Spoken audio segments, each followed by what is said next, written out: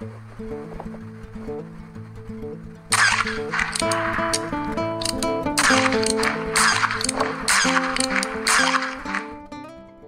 everybody, might be wondering why I'm showing you this tenth of an ounce small gold coin. It has a little rabbit on the back. Well, I bought 100 gold backs, and one gold back is worth one thousandth of an ounce. And so, all this right here is one tenth of an ounce of gold.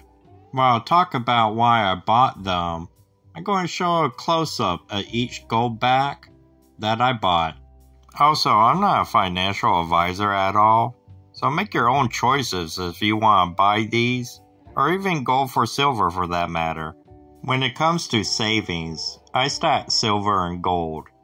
And the main reason why I stack silver or gold when it comes to emergency savings is because it does a lot better to keep up with inflation than a savings account. And if any of y'all are stackers out there, y'all probably scratching your heads because if you know anything about gold backs, the premiums are really high. Kind of a little bit more than gold coins and stuff. So you're probably wondering, why on earth would I buy this to add to my savings? Well, it really comes down to my fear of the central bank digital currency. Now, this month, not this month, but next month, they're coming out with the FedNow. And when you look at it, FedNow is really is a good thing. We really need to upgrade our system.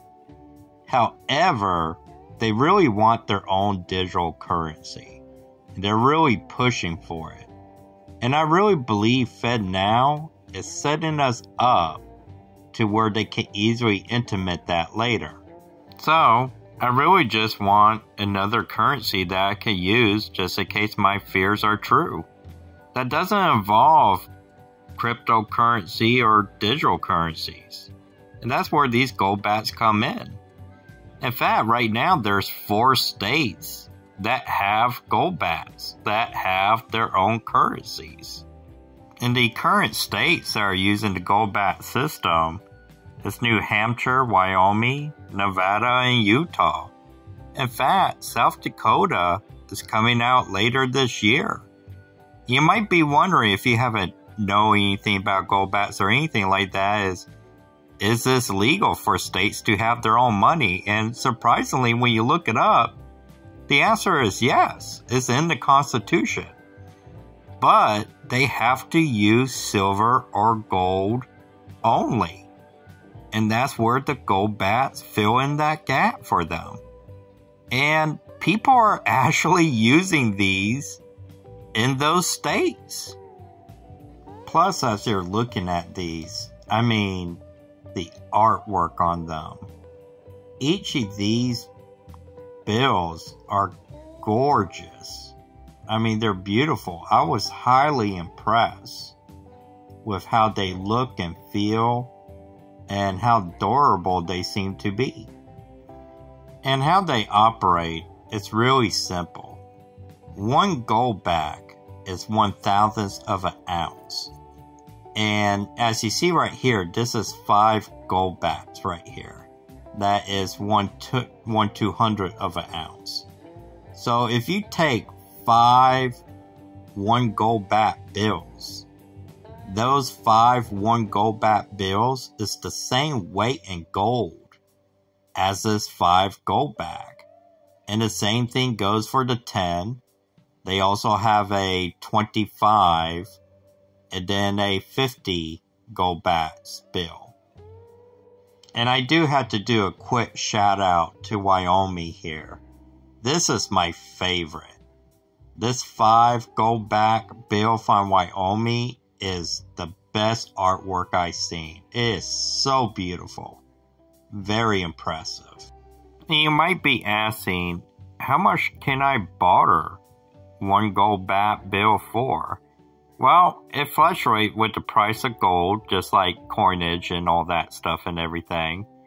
And right now, one gold back is worth $4. And you can find that information out on the Goldback website at goldback.com.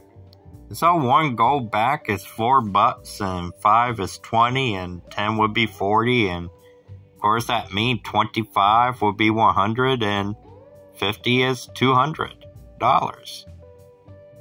And I have to say, be careful where you buy them. I normally buy my gold coins and all that stuff from JM Bullion, and they overpriced their gold backs. I think it's like five or six bucks for one gold back or whatnot. But if you go goldback, goldbacks.com and everything, um, they have a list on their website of authorized dealers. You can click on each one and find the best price. And if you do it that way, I mean, like I got these less than $4, you know, per gold back. So you gotta make sure you do your shopping around if you're interested in it.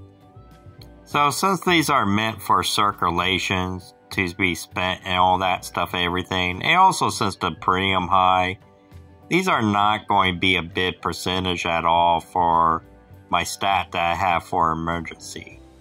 But I really like the idea of a bill that's not only backed by gold that you can borrow with, that is actually gold itself.